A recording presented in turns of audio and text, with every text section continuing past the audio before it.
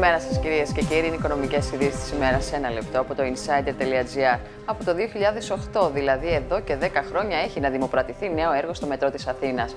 Το τελευταίο τμήμα που βγήκε σε διαγωνισμό ήταν η επέκταση της γραμμής 3 από το σταθμό Αγία Μαρίνα προς το κέντρο του Πειραιά, ενώ τώρα γίνεται προσπάθεια να ξεκινήσει ο διαγωνισμός της πρώτης φάσης της νέας γραμμής 4. Η κατασκευή νέων σταθμών του μετρό, που πριν από μερικά χρόνια η ανακοίνωση και μόνο του υποδημοπράτηση έργου έβαζε φωτιά στις τιμές των ακινήτων της περιοχής, έχουν μείνει προς το παρόν μόνο στα χαρτιά. Καθυστερήσεις πάντως παρατηρούνται και στη δημοπράτηση της νέας γραμμής. Εκτιμάται ότι ο ανάδοχος θα προκύψει μέσα στο 2018, καλώς έχοντα των πραγμάτων, ενώ οι μετροπότικε θα πιάσουν δουλειά μέσα στο 2019. Τα έργα αναμένεται να διαρκέσουν 7-8 χρόνια, ενώ το 2025 θα είναι μάλλον η χρονιά σταθμός, όπου το πρώτο τμήμα της γραμμής 4 του μετρό θα μπει σε λειτουργία και θα υποδεχτεί το επιβατικό κοινό.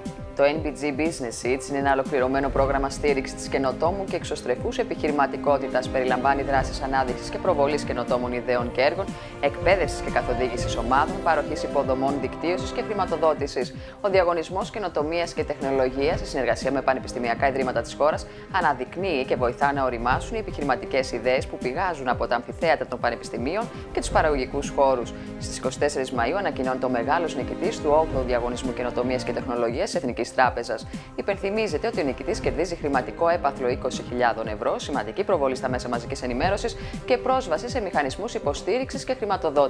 Γρήγορο ναι, πρόχειρο όχι. Είναι το σύνθημα πλέον των περισσότερων αλυσίδων γρήγορου φαγητού στη χώρα μας. Με το ίδιο σύνθημα λοιπόν μπήκε πρόσφατα στην αγορά ταχείας εστίασης και η επιχείρηση Chicken Stories, ανοίγοντας το δεύτερο κατάστημά της στην πλατεία της Αγίας Παρασκευής. Όπως αναφέρει στο insider.gr ο Φώτης Καλούδης, γενικός διευθυντής της εταιρείας, η ιδέα ξεκίνησε από την προσπάθεια μιας οικογένειας από τη Ρόδο με μακρά παράδοση στο κοτόπουλο από την πρωτογενή του παραγωγή μέχρι και το τελικό αποτέλεσμα. Με ένα πλούσιο μενού λοιπόν, το Chicken Stories έχει στρέψει το βλέμμα του και στο εξωτερικό. Στο πλάνο επέκτασης της αλυσίδας περιλαμβάνονται το Λονδίνο, το Ντουμπάι, το Βερολίνο, η Ρουμανία, η Πολωνία, αποκαλύπτοντας τον εξωστρεφή χαρακτήρα της επιχείρησης.